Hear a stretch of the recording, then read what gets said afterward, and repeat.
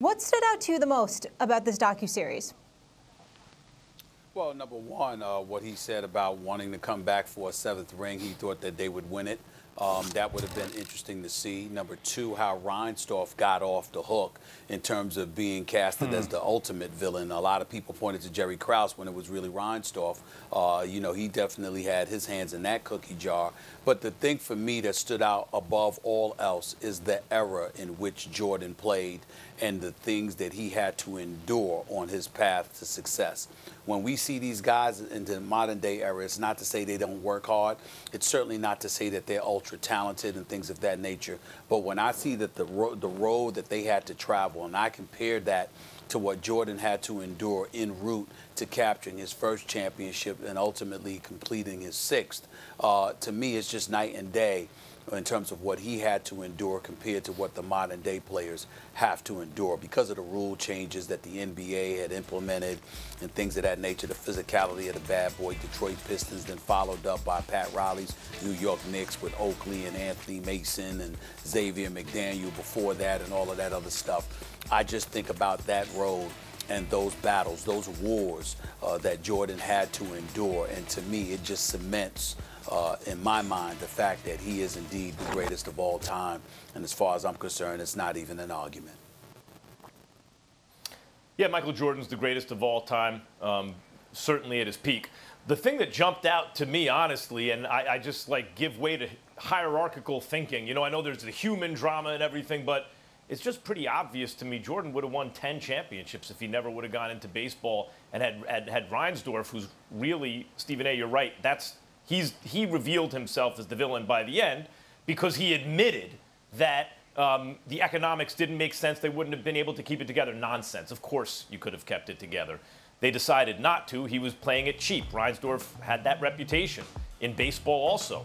Um, but the 10 championships, look, the Rockets don't get those if, if Jordan stays. They barely got by the Knicks in 94. When I say barely, I don't just mean that it went to a game seven.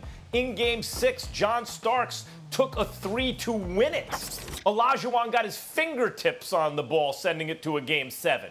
I mean, they very nearly lost to the Knicks. The Bulls would have beaten them uh, both seasons. And then the Bulls had at least we're going to, especially as Michael Wilbon points out, in a strike shortened season or a lockout shortened season, that gives an older team that needs rest an advantage, in fact. And then I also point out that Scottie Pippen, the year after the strike shortened season, which would be two years after Jordan left for the final time, the Bulls, in that season, Portland gave the Lakers everything they could want. Took them seven games. The Lakers won the championship that year. You mean to, t- and that was Scottie Pippen, Portland. You mean to tell me Scottie Pippen with Michael Jordan and whoever else they would have brought in to put around him, because Rodman was done by then, with Kukoc and everybody, doesn't get one more game than Portland did against the Lakers. But but guys, even if you if you say no, they would have lost this one, they would have lost that one.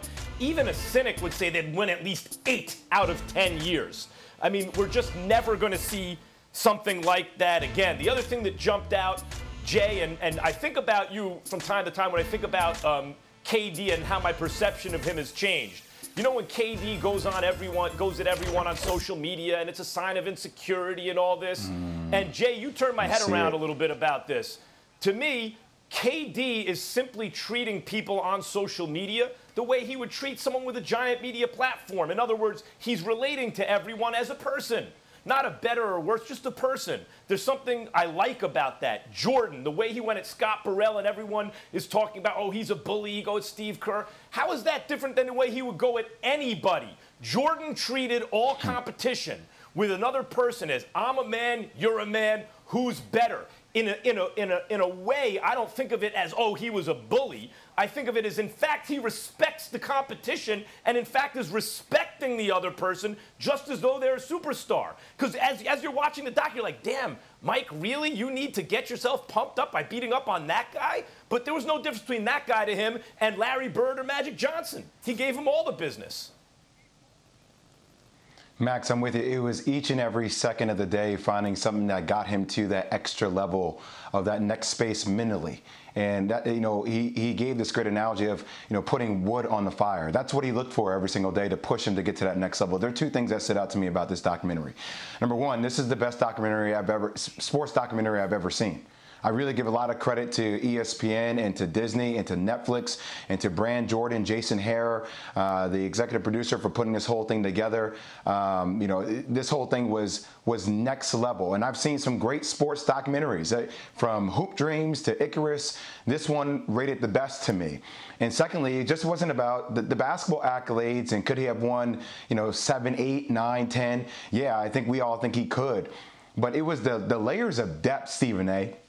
You and I often talk about this when we talk about hoops, man. Like, you know, I've been through some serious things in my life, and watching how he, like, basketball to me was a safe haven. When I stepped my foot across those lines, it's like I, I felt lost in that in the game. I was one with the game, and and watching Michael Jordan through what he dealt with with his dad, through what he dealt with with the fame that came along with it, uh, the amount of attention where he never felt like he can be do normal things that other people could do, through even his guy Gus that you saw that great relationship at the end, uh, the guy that was his security at the Chicago at the United Center, like watching him go through Gus all Lang, those different yes. things. Um, but yeah, and the fact that he was able to stay in the moment and enjoy the moments throughout those things with the ride, Stephen A. and Max. Like that, that's what blew my mind away. That that level of of focus and how you know myopic he could be on the goal and and, and keep all that in perspective. Uh, it just provided layers and depths that